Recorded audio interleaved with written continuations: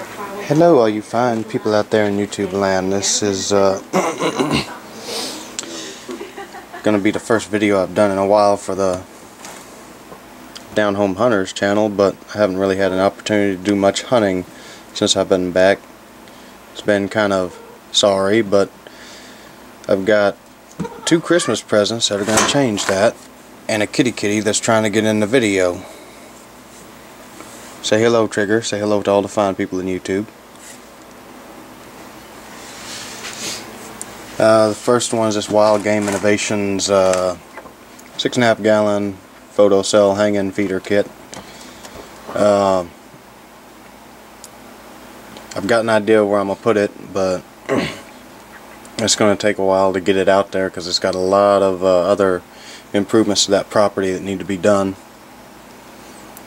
Uh, it's rated to, to hold about 50 pounds of feed, which I've got a feed mixture that I'm going to use, and uh, I'll share that with y'all in a later video, a much later video after the improvements of that property have been made. It uh, has a photo cell timer, and uh, you see there it says some assembly required. Yes, pretty much complete assembly required. Uh, as you can see by the packaging, Realtree camo and uh, takes a regular old uh, 6 volt battery for the motor. This was my second smallest present. Get down. Get down. It's upside down, but that was my big present. 225 pound Wild Game Innovations feeder with a regular uh, actual time timer. Uh, analog timer with up to 24 feed times. It's got a durable uh, plastic three-part uh, body that actually holds the feed. Uh, the lid has a lock and latch, which that one doesn't. I'm gonna have to get like some uh, bungee cords or something or other to keep that secure.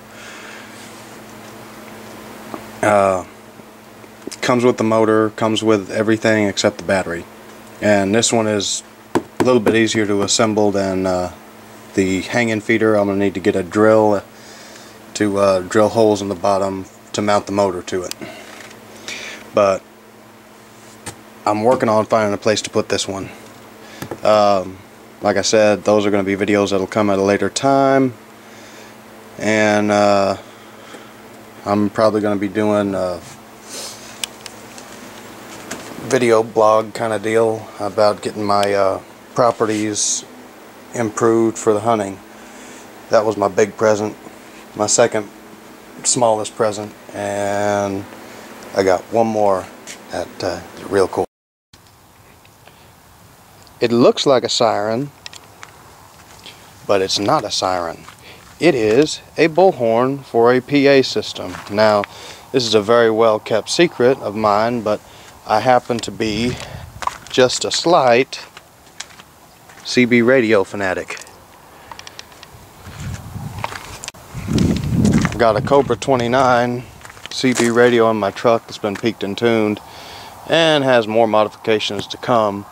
Uh, but this is my favorite Christmas present that I got. And uh, I'll give you all a little demonstration here in a second. Forgive the mess. This is my radio. Now to work that uh, PA system, what you do, first of all you turn it on. This is my dynamic for my uh, radio. This controls the volume of the uh, the uh, the PA, but first I've got to set it to PA.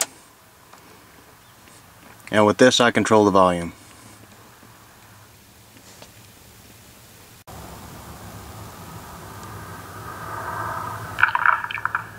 use it, all I do is pick up my trusty microphone and press the button as if I was going to transmit on my radio.